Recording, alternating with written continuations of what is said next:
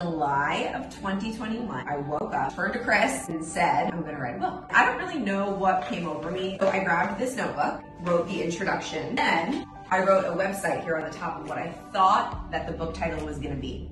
To hold myself accountable, to make sure that I wasn't just bullshitting, number one, I told Chris, I was like, I need to buy this domain. We went to the computer and we found out who owned the domain and how much it was. I think it was like $2,500 to get this domain. So I put $2,500 down on a domain for a title of a book. Immediate action, immediate accountability. I'm so grateful for my six figure book deal. Exact number, blank $100,000 book advance from a major publisher. But every time I wrote that number, I got a little queasy and a little bit like, mm, can I really get that number? What I'm looking at right now is that exact number, book deal for the number that I manifested. I'm going to be publishing with Hay House. My contract came into my email yesterday. I wanted to sign it here on camera with you because it is a mega, mega, mega big deal for me. We're gonna sign